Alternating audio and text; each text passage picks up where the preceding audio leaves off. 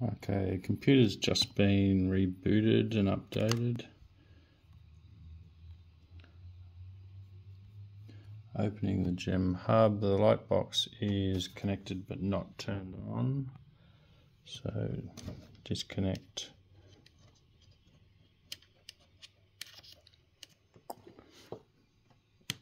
Reconnect.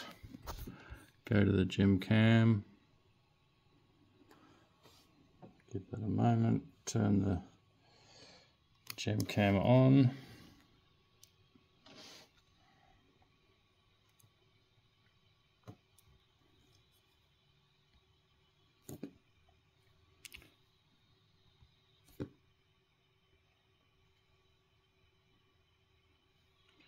Seems very bright as I've sort of said.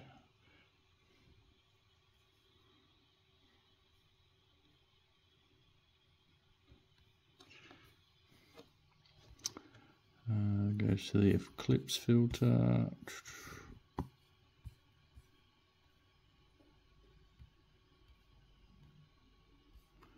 Still seems too bright, even if I pull the brightness down.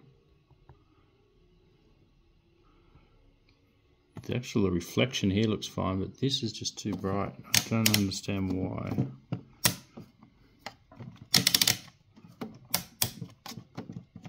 Actually got, I think, I don't have at the moment. have, we have had a sheet of paper up here. Um, this is it without the mirror on.